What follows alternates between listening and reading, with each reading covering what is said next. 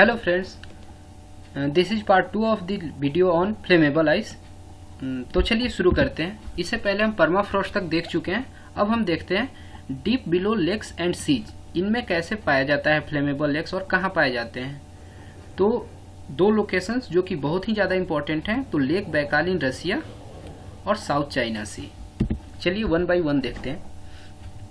ये देखिए ये रसिया और ये रसिया का साइबेरिया प्रोविंस और यहाँ पर जो पॉइंटर से रेड पॉइंटर से दिखाया गया है, एक वाटर बॉडी आप देख पा रहे हैं यह है लेक बैकाल और ये चाइना के साउथ ईस्ट में जो ये सी है, इस पर बहुत सारे कंट्री अपना क्लेम करते रहते हैं, लेकिन सब में चाइना ही भारी पड़ रहा है अभी तक। कारण क्या है कि वहाँ पर बहुत ही ज़्यादा रिजर्व्स हैं पेट्रोलियम के भी हैं और इसके अलावा ये जो फ्लेमेबल आइस है इसके अलावा वो स्ट्रेटेजिक इम्पोर्टेंस का भी जगह है। तो फिलीपाइंस का भी क्लेम है वियतनाम का भी ब्रुनोई का भी।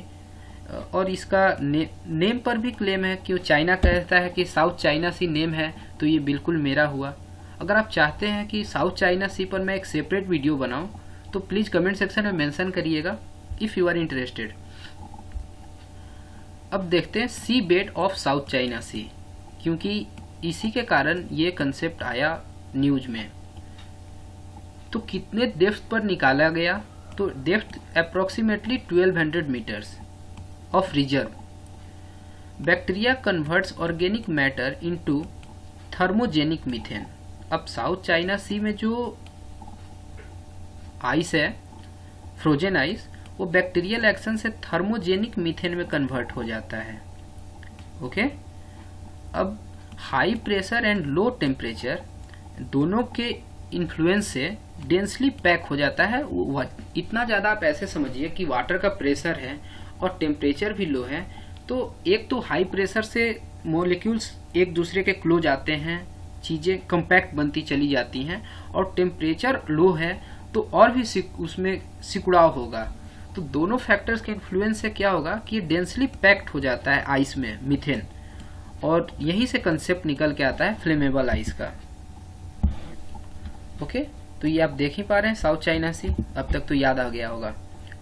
अब चलिए डिफ्रेंशिएट करते हैं कोल से कैसे डिफरेंट है फ्लेमेबल आइस तो सबसे पहला डिफरेंस ये कि जो कोल है, वो प्लांट के रिमेन से बनता है, जबकि फ्लेमेबल आइस है बोथ प्लांट्स एंड एनिमल्स के रिमेन्स से. अपार्ट फ्रॉम दिस कोल के लॉन्ग मोलिक्यूल्स ऑफ़ हाइड्रोकार्बन होते हैं, जबकि फ्लेमेबल आइस जो है मीथेन इथेन और अदर लाइट हाइड्रोकार्बन गैसेस से बने होते हैं, यानी कि छोटे और हल्के पार्टिकल से बने हैं कार्बन हाइड्रोकार्बन से बने हैं। कोल जो है सॉलिड स्टेट में होता है, जबकि फ्लेमेबल आइस का स्टेट बोले तो गैसियस हुआ, लेकिन ये सॉलिड स्टेट में पाया जाता है due to low temperature okay लेकिन एक सिमिलरिटी है both are fossil fuels and produce CO2 on burning दोनों को जलाने पर कार्बन डाइऑक्साइड निकलता है और ये कार्बन डाइऑक्साइड कंट्रीब्यूट करता है पोल्यूशन और ग्लोबल वार्मिंग को। Okay okay.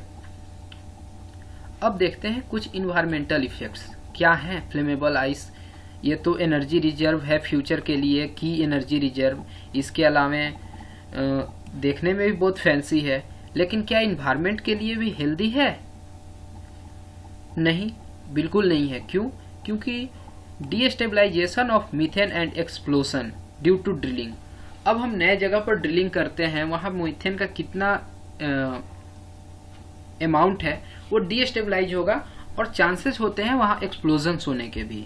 Apart from this methane जो है कंट्रीब्यूट करता है 25 times more than CO two in terms of global warming यानी कि इसका यूज़ से 25 गुना बढ़ जाएगा हमारा ग्लोबल वार्मिंग।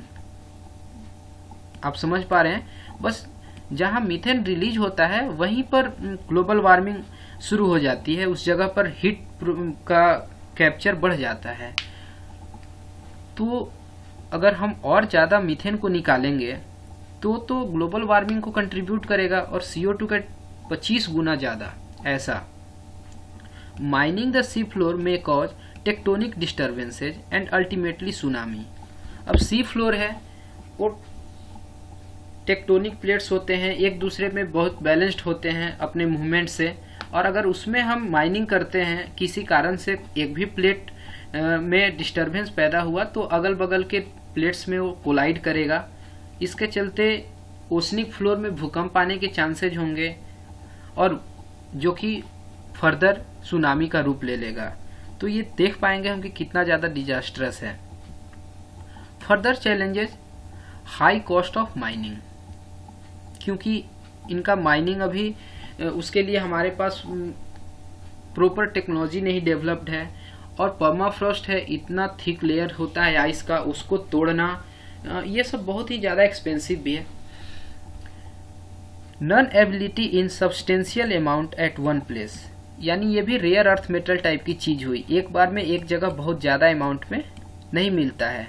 तो इन, इसके टर्म्स में भी समझ सकते हैं कि ये कितना माइनिंग एक्सपेंसिव होगा।